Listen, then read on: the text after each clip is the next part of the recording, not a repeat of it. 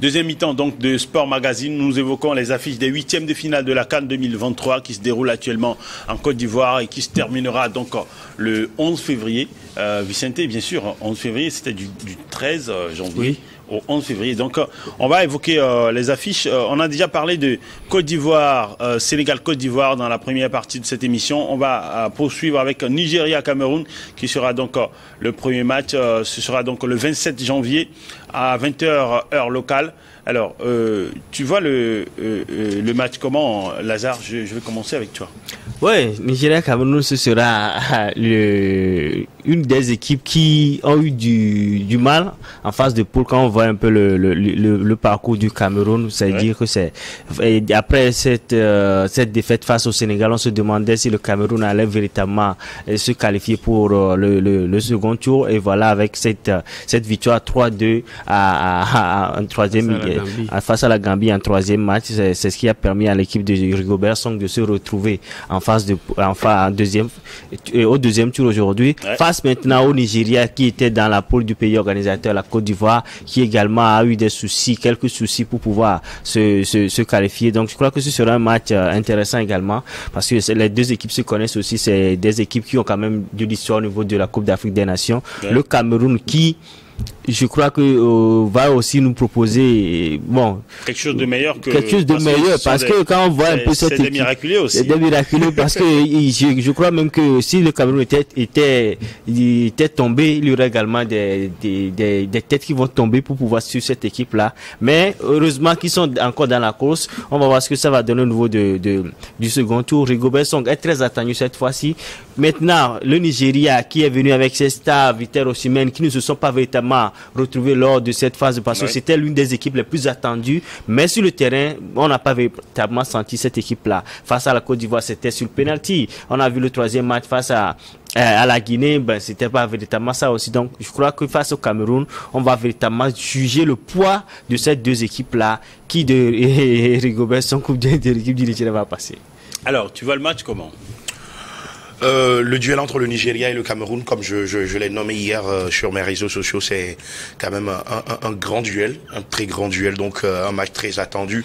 Comme Lazare vient de le dire, on attendait quand même le, le, le, Nigeria bien, bien, bien, bien dans cette canne, mais voilà, le Nigeria n'a pas répondu exactement, puisque c'est Victor Osimhen, si je, je, je, je, je ne me trompe pas, il a marqué un but, c'était face à la Guinée, équatoriale, face à la Côte d'Ivoire provoqué un pénalty. Voilà, après euh, le match face euh, à la Guinée-Bissau, c'est un, contre son camp qui a été marqué. En gros, c'est trois buts marqués. C'est trois buts. Donc, ça veut dire l'attaque, quand tu prends Vitor Osimhen, Simon, euh, Moses Simon, ils sont très, très attendus chez Nigeria. Donc, euh, comme Vicente l'avait dit, il faudra noter que nous sommes en huitième de finale et donc tout change. Et il faudra donc euh, attendre une équipe euh, assez flamboyante du, du Nigeria qui, pour l'instant, euh, je, je pense pas que a quand même des petits, petits, petits problèmes aussi en défense. Hein. Mm. C'est pas quand même ça aussi sa défense. Maintenant, le, le Cameroun, revenons à cette équipe de Rigobert Song, euh, qui euh, n'est pas encore au niveau, hein, n'est pas encore au niveau. si vous devez vous référer au dernier match des Camerounais dans cette canne, c'est face donc à la Gambie, la Gambie qui c'était l'inexpérience mm. qui a envoyé le Cameroun, euh, l'inexpérience de la Gambie qui a envoyé le Cameroun en huitième de finale la fois dernière, puisque ils prenaient, ils, ils étaient au-dessus. Ouais, mais justement, est-ce que ce n'est pas avec l'expérience que les voilà, voilà l'expérience camerounaise, parce que, voilà, donc parce que le Cameroun avec quand même euh, a des arguments comme joueur. Mais dans le jeu, je, moi je peux dire que le Cameroun et la Côte d'Ivoire font pratiquement des mêmes choses. Hein. Ils font pratiquement des mêmes choses parce que ce sont des joueurs, la façon dont moi j'attends les joueurs, les bons joueurs africains en Europe, ici chez nous, en Afrique, je ne les vois pas. Ça a été noté au niveau de l'Algérie, au niveau de la Tunisie. C'est que les gars, ils sont là, les gars, ils sont là, ils sont là, mais la façon dont on avait mouillé les maillots dans les cannes 2000, 2002, dans les cannes 2006, tu ne sens pas trop les gars. Ah mais le Cameroun, la fois dernière, dans les dernières minutes, hmm. bah oui, ils ont, ils ont quand même prouvé ça. Donc, il peut vraiment être dans ces 90 minutes, vraiment être en forme, être en feu, comme euh, face à la Gambie la fois dernière, on aurait quand même avoir un très bon match. Donc, euh, mais notez quand même que sur le papier, tout le monde le sait très bien que le Nigeria est, est, quand même favori. Mais euh, ça va être un très grand match également donc de Il y a un point d'interrogation parce que quand vous, avez, quand vous avez, euh, je pense, ils ont même quoi, les cinq meilleurs attaquants actuellement. Le Cameroun En activité. Je, passe du, je parle du Nigeria. Et vous n'arrivez qu'à marquer trois buts en phase de groupe. C'est vrai qu'ils n'ont encaissé un que un. Ils ont marqué trois buts. Ils ont même marqué deux. Il y a un contre son camp. Un contre son camp. Bon après, oui, voilà justement. Merci pour la précision. Et, c'est vrai qu'il y a aussi la défense euh, de cette canne qu'il ne faut pas minorer aussi. Hein. Mais quand on, voit tout ce qu'ils ont comme euh, atout offensif, vous avez euh, Samuel Chukwueze, euh, Vicente parlait tout à l'heure de Victor Osimhen qui est le joueur de la CAF meilleur joueur de la CAF 2023, qui est aussi dans cette équipe, on se rend compte que on a José Pezero, le sélectionneur du Nigeria, n'arrive pas à tirer peut-être le meilleur de cette équipe des Super Eagles. Et vous voyez le match comment euh, face au Cameroun Vous pensez qu'ils pourront euh, enfin pouvoir réaliser un, bon coup, comme à l'image du, Sénégal par exemple, marquer au moins deux buts dans un match? Ce serait compliqué contre le Cameroun qui a quand même gagné de la confiance lors du dernier match face à la Gambie. Euh, je pense pour le Nigeria que c'est trop tard de rééquilibrer euh, cette sélection-là, puisque moi je l'avais dit, trop de viande a gâté, ont mhm. gâté la, sauce du Nigeria parce que il y a trop d'attaquants offensifs du même registre. C'est-à-dire s'il y avait également Oumar Sadik, le nombre allait trop. Donc je, je pense pour moi que cette équipe n'est pas équilibrée. C'est-à-dire on a trop d'offensifs, on a trop d'attaquants du même registre euh, qu'on a oublié le milieu de terrain et surtout la ligne défensive. Maintenant, face à une équipe du Cameroun qui a quand même encore en son sein certains malentendus intestins comme euh, les malentendus entre Samuel Etofis et euh, André Onana qui ne se parlent pas. Il y a beaucoup de choses qui doivent se régler là-bas. Donc je pense que sur le terrain, peut-être cela va jaillir Maintenant, sportivement, le Nigeria doit être normalement un peu au-dessus du Cameroun, vu le parcours qui a été fait en poule, euh, surtout avec euh, Victor Simen qui ne se retrouve pas trop pour le moment. Je pense qu'il n'est pas forcément dans son statut de meilleur joueur de la CAF.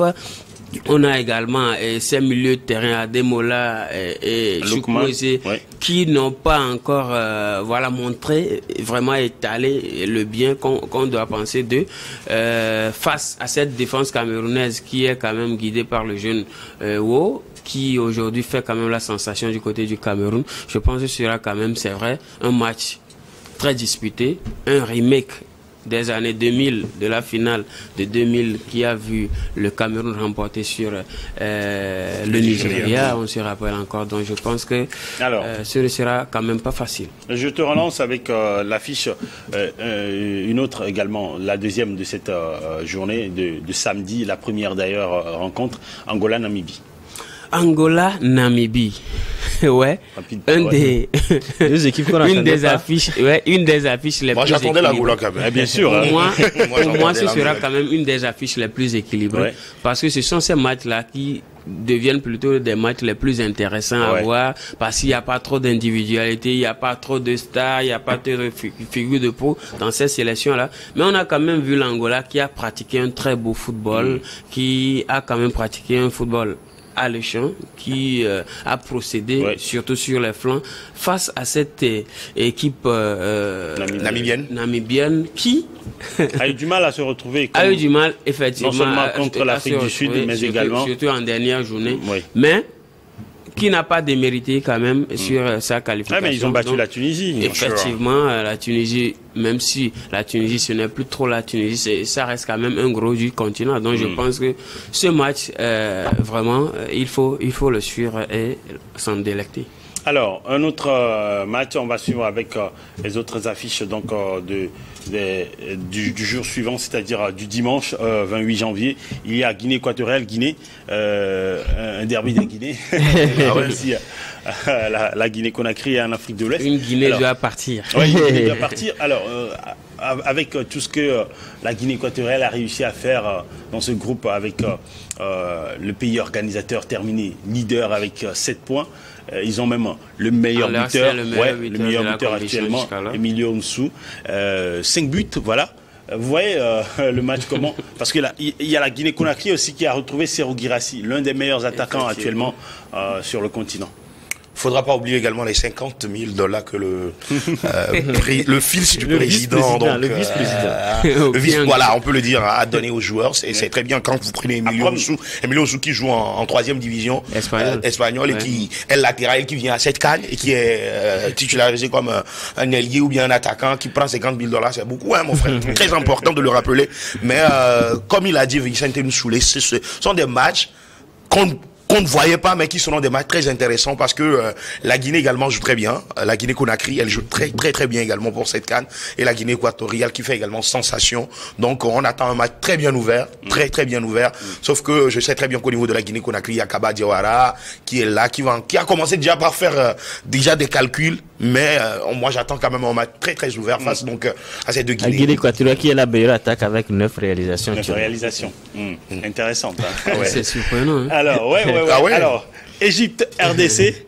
Euh, Lazare, je te, je te, donne la parole pour euh, commenter. les pharaons face, au léopard. léopard. L'Égypte qui, ma foi, a déçu lors de cette première phase. Trois matchs nuls. Hein. Trois matchs nuls quand même pour sortir. Euh, L'Égypte est presque toujours déçu en poule. Hein. Exactement. ouais, mais il y a six buts encaissés. Ah oui, six buts encaissés. Ouais, c'est beaucoup. Deux face à la Mozambique, deux au Ghana, deux face au Cameroun. C'est pas régulier. C'est pas régulier, mais quand même, c'est les pharaons. On a une histoire à défendre. On se souvient de cette finale la dernière fois face, face au Sénégal. Ils sont quand même vice-champions d'Afrique en titre c'est quand même bien pour cette équipe-là qui va jouer face au Léopard, qui revient dans la compétition. Parce que cette équipe-là aussi a son histoire dans la Coupe d'Afrique des Nations. Quand vous écoutez les anecdotes de Claude Leroy, vous sentez que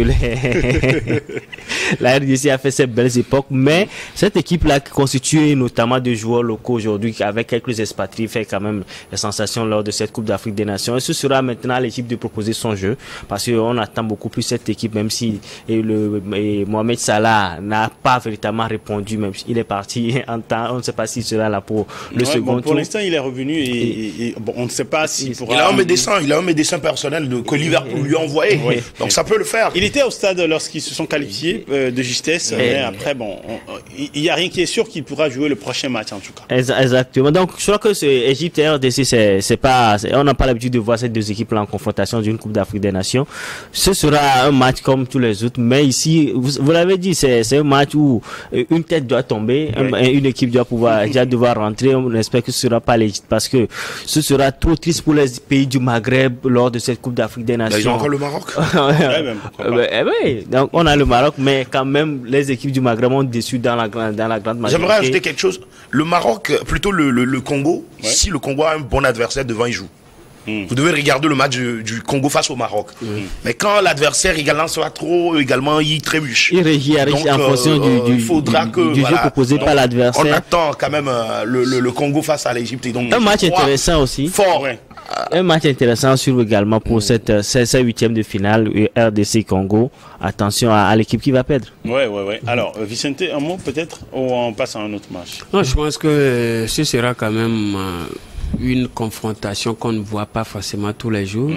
mais comme Lazare le dit, euh, un match très disputé entre euh, un football très local contre euh, bon, un football, on va dire, importé, mm. avec l'Égypte qui... Un, un, autre match équilibré, Cap-Vert-Mauritanie, ils se sont qualifiés... Euh, Cap-Vert-Mauritanie, mais je pense que... qui s'est qualifié en tant que leader de son Déjà, le Cap-Vert a beaucoup plus brillé en poule que la, les équipes comme le la Mauritanie, devant les équipes comme euh, le Ghana, l'Égypte, ce n'est pas toute équipe qui peut briller devant ces deux grosses écuries de, du continent. Donc je pense que le Cap-Vert prend un peu le pas sur la Mauritanie, mais c'est sans oublier ce que la Mauritanie aussi a démontré mm. face à l'Algérie. Mm. Personne ne s'y attendait. Mm. Donc euh, voilà, comme on le dit, euh, le niveau de cette compétition, selon moi, euh, a été tout simplement élevé par ces équipes-là, ces équipes qui n'étaient pas pressenties être des favoris, mais qui jouent avec le cœur, qui jouent avec l'honneur, qui jouent avec une certaine détermination. Je pense que des matchs comme ça, ce, ce n'est surtout pas à rater. C'est ça aussi la particularité de, de la Cannes 24, où on, a, on a donné la largesse à ces équipes-là de pouvoir s'exprimer. Et on voit les résultats aujourd'hui. On se souvient de la dernière quand Madagascar a donné le pion aux différentes équipes pour une première participation. C'est également ce qu'on ressent au niveau de ces équipes-là, la Mauritanie, la Tanzanie et autres. Hmm. Alors, Tu as 30 secondes pour parler de Mali, Burkina et puis Maroc, Afrique Je vais essayer de le faire. Je pense que Mali, le, Mali sera face au Burkina. Euh, c'est euh, un match euh, à style homogène, presque homogène, parce que le Mali et le Burkina, je pense que c'est c'est quand même euh, deux habitués des demi-finales. De, de la Cannes. Ah. Il faut se rappeler que le Mali l'a fait. Euh, le Mali a été éliminé par la Tunisie la, la dernière Cannes, je crois. Oui, pas forcément la dernière fois, mais ça dit le Mali est habitué aux demi-finales, aux mmh. troisième place plus souvent, et le Burkina a pris le relais après. Donc je pense que c'est quand même euh, un match à revoir, euh, à, à, à, regarder de très près, parce que il y aura également Bertrand Traoré qui sera mmh. là, qui mmh. sera quand même l'individualité du côté du Burkina Faso. le Mali présente également un football très alléchant. Maintenant, le Maroc a fait du Sud. Le Maroc sera eh, surtout dans son statut de favori, euh, demi-mondial, mm. demi-finaliste de mondial, face à l'Afrique du Sud qui a aussi quand même montré de très bonnes choses. Alors, Lazare. oui, c'est comme vous voyez sur euh, la cartographie des, équipes qui sont présentes en, huitième de finale, l'Afrique de, l'Ouest est bien représentée. Ce sera un duel de l'Afrique de l'Ouest. Malheureusement, une équipe devra tomber. Vicente l'a dit, c'est deux équipes au presque même style de jeu donc ce sera quand même très très très très ouvert sur le terrain. Maintenant, c'est à l'équipe qui va proposer l'équipe la plus entreprenante, l'équipe qui aura beaucoup plus d'occasions à créer, qui va sortir victorieuse de cette rencontre. Maroc Afrique du Sud, on connaît le, on a vu le, ce que le, le Maroc a proposé. L'Afrique du Sud qui est mal rentrée dans cette Coupe d'Afrique des Nations par une défaite 0-2 face au Mali va vouloir réagir parce qu'ils ont eu la chance de d'être qualifiés pour cette cette seconde sous Percy Tao et ses amis vont vouloir réagir et c'est ce qu'on attend de cette, euh, de cette rencontre. Alors, ça pas un mot un mot, euh, je veux plutôt m'attarder quand même sur le match entre le Maroc et l'Afrique du Sud, où le, je vois une équipe euh, sud-africaine qui aura du physique, du bon physique, comme je l'aime bien, parce que c'est une équipe qui m'a ébloui. Je l'avais dit la fois dernière que voilà, faut attendre à cette équipe. La première, elle a marqué quatre buts, mm. euh, donc face à la Tanzanie, je crois très bien. la Namibie. À la Namibie, voilà. Et donc, le Maroc doit s'attendre à un très très très grand match, parce que c'est une équipe qui joue comme moi j'aime bien. Ça veut dire on est venu pour faire un boulot, on est payé pour ça, et on le fait très bien. Donc, je pense une hmm. équipe physiquement prête pour donc défier euh, cette équipe marocaine. Alors, 10 secondes pour conclure. Euh, on s'attendra à quoi en huitième de finale? On va s'attendre à, beaucoup de jeux, à beaucoup de physique, et surtout à beaucoup de buts parce qu'on a quand même ces équipes-là qui nous ont habitués au, au but, qui se sont retrouvés. On va s'attendre à ce que le, le public d'Ivoirien puisse sortir également, soutenir ces équipes-là, pas seulement la Côte d'Ivoire, pour que la fête continue pas à être belle hmm. et que les sélectionneurs puissent nous proposer de très beaux, de très beaux tactiques. Alors, Vicente? Je pense que euh, la compétition continue et on doit la suivre de près. La compétition continue ou commence Ah ouais, plutôt. La cale démarre maintenant? Bon, on va le dire comme ça. oh, moi, je pose la question, je dis ça, je dis rien. Non, elle continue avec euh, une autre étape. Une autre étape. Maintenant, on va sentir les coups de, de nouveaux engagements, de, de, nouvelles motivations. Hmm. Et je pense qu'on va la suivre de près. Pour moi, cette canne, elle a plus médiatisé, hmm. mais également, elle semble être la meilleure parce que ce qu'on a vécu en termes de sensations. En termes de sensations. Merci Vicente Noussoulé d'être passé dans moi. C'était un plaisir tout simplement de faire le plateau avec ces grands messieurs. Ah bon Lazare, merci également d'être passé. Je suis étonné d'être un grand monsieur. Merci. étonné Alors on se dit à la prochaine. À la prochaine. Ah ouais, il faudra noter que nous sommes en huitième de finale, donc maintenant les gens feront beaucoup, encore plus le déplacement pour, pour aller en Côte d'Ivoire. Et comme Lazare l'a dit, maintenant c'est le vrai coup de marteau, il ne faut plus espérer. Ouais. faut pas, faut partir. donc, bonne canne à tout le monde. merci euh, euh, Vicente Sokba, merci surtout à vous, nos chers téléspectateurs, d'être restés en notre compagnie et à vous également, nos chers internautes qui aimez cette vidéo sur YouTube. N'oubliez pas de, de, nous envoyer des, de nous envoyer des commentaires. Un plaisir d'avoir eu votre attention. Bonne suite de nos programmes sur Niad Info.